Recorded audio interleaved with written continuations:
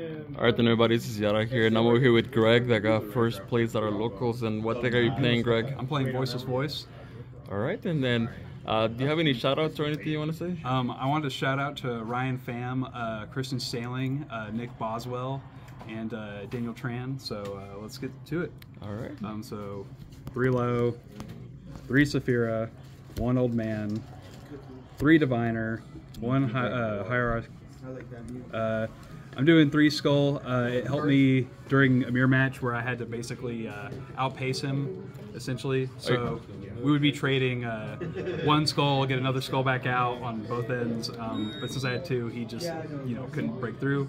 Uh, two Sauravis, and then for non-engine, uh, Ash, three Ash, three Effect Veiler, three Nib, which I'm considered to cut here and there, but that's just local scene. Um, to spells in engine, uh, three barrier, uh, two ritual, three pre prep, two talents, two super poly, uh, traps, uh, three imperm, and the uh, continuous trap.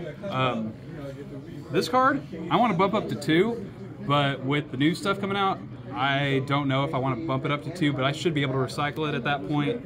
Um, but we will see. Uh, to extra, No, no OG Skull Guardian? You're not, uh, I'm probably one of the few that might consider it, um, but at most I would side it, see how it works out. But Okay. when time comes, we'll see.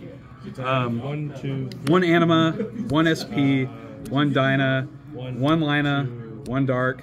Uh, I'm testing out BLS uh, only because uh, there's Runic here, and I wanted the targeting protection uh, when I can get it. Uh, there are ways to you know out it, skill drain, and then um, what's the other uh, card that I've come across? Um, can't think of it. Anyways, Boral, so, uh, Boral Sword. Uh, I'm adding this instead of doing the Odd Eyes Pendulum, gra- uh, pendulum Graph uh, line. Uh, reason being is because Raidraptor comes up, uh, they're just going to wipe your board.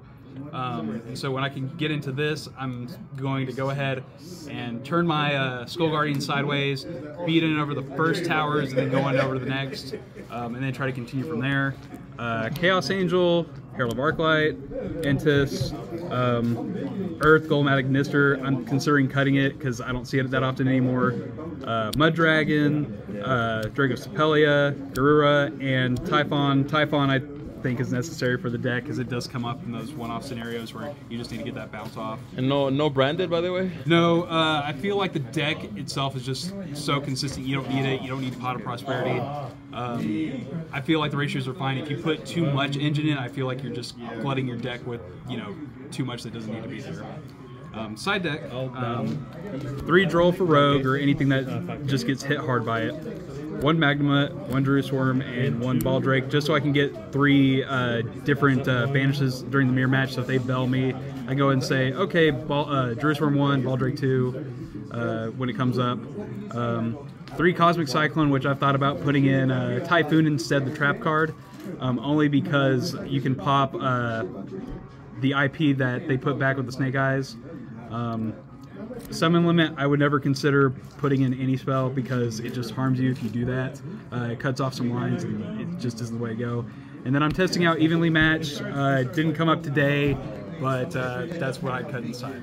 So, so I'd probably go for, I want to say um, Bell just for protection at that point, but I was just testing this out, didn't come up at all. So.